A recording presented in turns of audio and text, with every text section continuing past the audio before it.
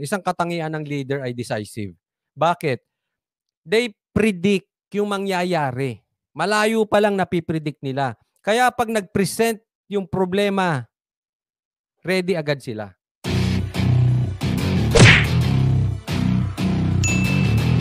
Marami nga nagsasabi, tulad nito, napakabagal daw. Iko-compare natin dun sa first two weeks ng dating Pangulong Duterte.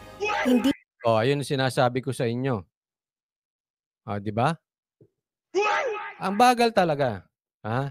Eh, hindi natin maiiwasan. Although hindi maganda mag-compare, pero hindi natin maiiwasan sila yung magkasunod. Kaya nga sabi ko, napakahirap sundan nung nagawa ni President Duterte. Kasi talagang tinaas ni President Duterte yung bar na ang hirap, ang hirap tapatan. Ah. maiwasang ikumpara ng political strategies, CEO at founder ng Publicus Asia na si Malu Tikia ang unang dalawang linggo sa pwesto ni na Malutikia, hindi ba BBM supporter? I really don't know. Ha? Ayokong i-judge siya. No? But may point siya. I believe with her. I side with her. Dating Pangulong Rodrigo Duterte at Pangulong Ferdinand Marcos Jr. Bukod kasi sa dalawang kautosang inilabas nito na may kaugnayan sa reorganization ng Office of the President, hanggang ngayon naghahanap pa rin ito ng ipopwesto sa mga bakanting matataas na posisyon. Oh, hanggang ngayon, ha? Hanggang ngayon, naghahanap pa ng mga ipoposisyon sa matataas na ano. Ako, para mapabilis kayo, para malagyan nyo agad yung mga matataas na posisyon, tanungin nyo na si TP. At least pag tinanong nyo siya, hindi na yan kokontra. Tanungin nyo si Tunying. Hindi na ako, kasi tinanong nyo eh. Ano ba masasabi nyo? Sino kaya ilagay natin dito? Ah. Di, hindi na hindi na magrereklamo kasi sila naglagay. O di wala na silang masasabi. Ah, di ba? Ay, para malagyan nyo na yan, tanungin nyo na yung mga vlogger nyo. Ang dami silang suggestion. Para matapos na yan. Hindi, pero talaga wala ah. Oh. Meron na ba tayo nakita na agarang solusyon sa kakulangan sa pagkain? Sabi nga ni JB. Senator JB. Yung pagtaas ng gasolina. Pagkontrol sa ah pagkontrol dyan sa pagtaas ng dolyar. Kanina po ah, nagtanong lang ako, na-curious ako, wala naman akong dolyar. Na-curious lang ako. Punta ako. Magkano po ang magkano po ang palitan ng dollar? Eh kasi yung teller naman, alam mo ba may, may salamin, 'di ba? Oh, magkano po ang palitan ng dollar? Hindi naman sumagot, sabi ganun lang. Ganun mag ganun magturo ang Pinoy, no? So tiningnan ko, tiningnan ko mag, sabi ko nakalagay 55.8. 55.8? Ay hindi po euro 'yan. Eh magkano dollar? Ganun siya ulit. 56.1? Oo. Aba. Totoo yan? Mas mataas na ngayon ang dolyar kesa euro? Ang galing talaga ng US. Alam ko ang ginagawa ng US. Bakit sila ano? Naku kayo, ha? Huwag ko nang banggitin yung bansa. Alam ko na yung ginagawa nyo. Mataas pa sila ngayon sa euro. Ngayon ang daming bago sa Pilipinas. Sa ano ha, ngayong ngayon lang ako nakita na ang guro ay sila ang naghihingi ng bakasyon, hindi mga estudyante. Ngayon lang ako nakita na mas mataas ang dolyar kaysa sa ah, euro. Ngayon lang din ako nakakita na mas mataas ang diesel sa gasolina. Ngayon lang din ako nakakita ng dalawang beses magka-COVID. Ito ay habang nahaharap ang bansa sa pagtaas ng presyo ng mga bilihin at paghina ng Philippine peso kontra US dollar. Taliwas o malayo ito sa frontline reforms na agad na inilunsad ng Duterte administration sa mga unang araw sa pwesto. Tulad na lang ng paglagda nito sa Executive Order No. Oh. Ha? Unang araw pa lang, ilan na? Oh, grabe. Hindi, ano, road sector, yung 56.26 na yan, yan yung nakalagay sa internet. Pero pag nagpapalit ka talaga sa labas, mas mababa. Kasi siyempre, tutubo sila eh. Oh. Mahirapan ka humanap ng ganyang kataas. Usually, may mga 20, 30, 50 cents until 50 cents na tubo.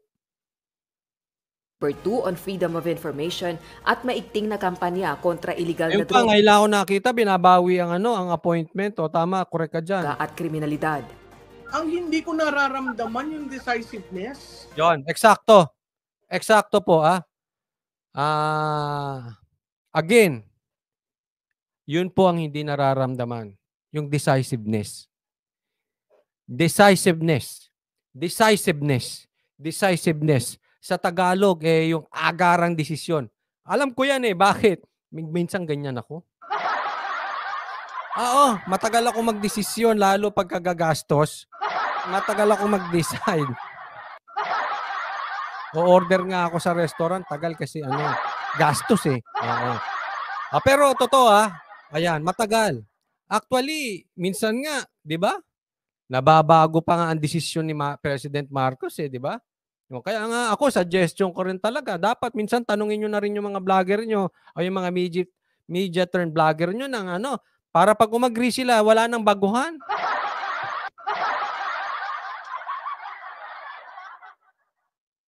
Wa- Wala eh. Hindi talaga. Hindi decisive. I, I'm sorry ah, you may disbel ah, you may not believe me, you may not side with me, but naniniwala ako kaya Ma'am Malutikia na talagang mahina sa de- desisyon yung gobyerno ngayon. ah ng two weeks. Kasi dun sa two weeks, ang lumabas lamang ay EO1. Ah Oh, lumabas lang daw EO1. O yung EO1 pa tinanggal. Tinanggal EO1, tinanggal ang lalaban sa korupsyon which is PACC. Yun agad ah. O yun lang. or organize ang Office of the President, yung Office of the President proper, ah tsaka EO number 2, yung Office of the Press Secretary.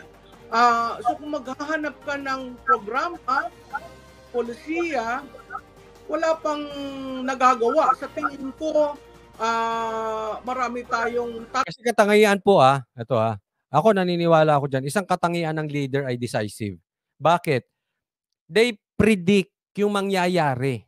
Malayo pa lang napipredict nila. Kaya pag nag-present yung problema, ready agad sila. Kasi nga, yun ang ano ko eh. Yan yung sinasabi ko sa inyo na ang leader, they can see something that ordinary people cannot see. Na ano na nila, na-anticipate nila. Ah. Kaya ang bilis magdesisyon dahil pagpatak nung ano, naka-decide na yan. Pagpatak, pagpresenta ng problema, naka-decide agad. taas na naman yung level of expectation para sa SONA. Kung ramdam dati ang mabilis na pagkilos, tila sigurista at consensus builder si PBBM. Subalit bilang Pangulo, ito dapat Kaya ako lang ha, kasi kung dati raw eh mabilis daw ah, magdesisyon, ngayon daw ay ah, sigurista. Ako lang, don't listen to your vloggers. Magbabago-bago ka ng desisyon niyan. Ha? Kasi siyempre iba-iba gusto niyan. Iba-ibang gusto niya ilalagay.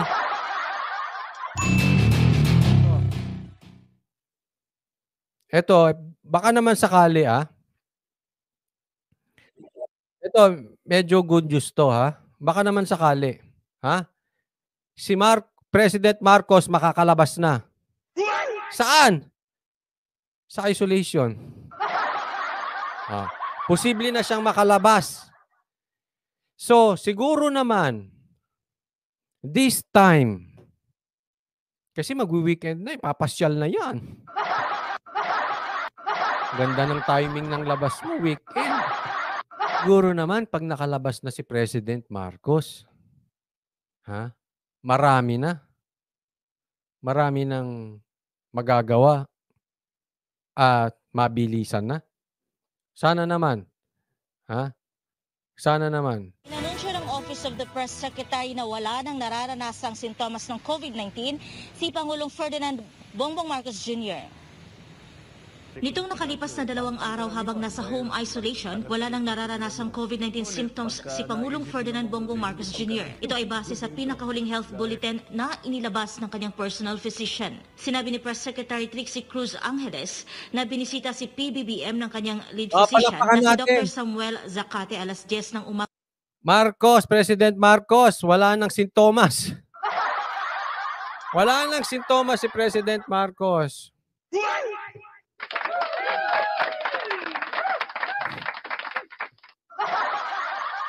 Oy, lalabas na yan. Magatrabaho na, magatrabaho.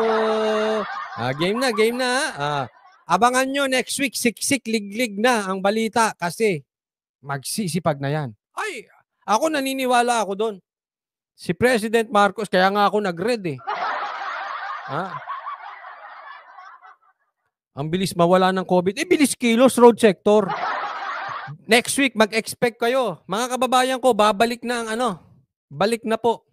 Liglig. Siksik liglig na ang balita. Nako, marami. Ha? Maibabangon na ni President Marcos ang bansang Pilipinas dahil siya ay makakabangon na mula sa COVID. Ng Miyerkules at binigyan ng masusing eksaminasyon. Ibinahagi ni Angeles na ayon kay Dr. Zacate, natapos ng presidente ang lahat ng kanyang medikasyon at base sa kanyang clinical opinion, handa na si Pangulong Marcos na bumalik sa kanyang face-to-face engagements. Gayunpaman saad ni Dr. Zacate, kailangan lamang kumpletuhin ni Pangulong Marcos ang kanyang 7-day isolation Sang-ayon sa protocol na itinakda ng Department of Health, sa ika-anim na araw ni PBBM sa isolation, iniulat ni Zacate na Siguro mag-exercise din dapat si ano at mag-diet, no? Ako suggestion lang naman kay President Marcos kasi kailangan healthy ang president. Eh wag naman sana. Eh baka naman maging ma- maging tatlo pa yung COVID niyan. Or baka next week may iba na namang sakit. Kasi ma-delay tayo na ma-delay eh. Kaya kailangan talaga ang presidente ha. Isipin mo si President Duterte. Nagkasakit ba yan ng 6 years? Anyway, kailangan din siguro kasama sa trabaho natin yan. Huwag po natin kakalimutan. Isipin po natin, kasama sa trabaho natin, ang dieta at saka exercise. Ha? Ah, eh, make yourself healthy. Masa tayo. Ha? Maraming balita. Maraming ipipresentang resulta yan. Solusyon para sa bansang Pilipinas nang tayo ay makabangon sa ating kinalulubugan.